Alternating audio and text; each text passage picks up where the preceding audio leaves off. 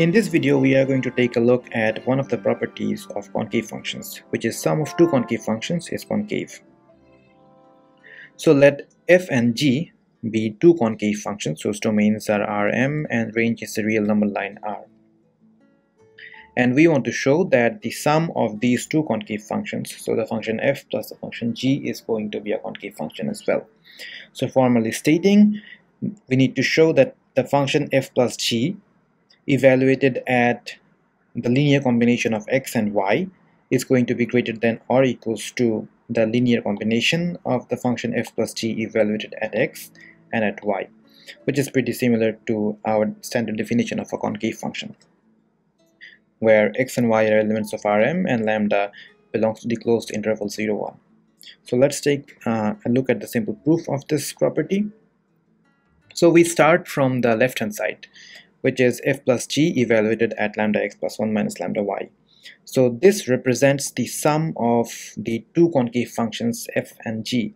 So this is essentially we are evaluating the function f at this point and the function g at this point and then we are adding them up. So we can write this expression in this way which is f evaluated at lambda x plus 1 minus lambda y plus g evaluated at lambda x plus 1 minus lambda y. And since f and g are individually concave functions, so this expression can, is greater than or equals to this expression and this expression is greater than or equals to this expression. This is something that we can get from the definition of a concave function. And since f and g are concave functions, we can write this expression greater than this expression and this expression greater than this expression.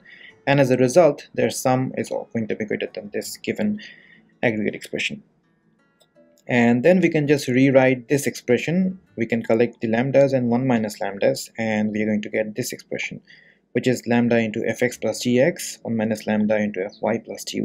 So we can see that this is the sum of function f evaluated at x and the fun function g evaluated at x.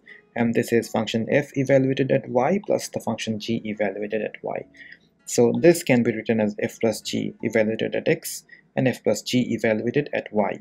And we can see that we are taking the linear combination of these two evaluation points with lambdas. And these points are smaller than this one which represents this quantity. And as a result we have actually proved that the sum of two concave functions is a concave function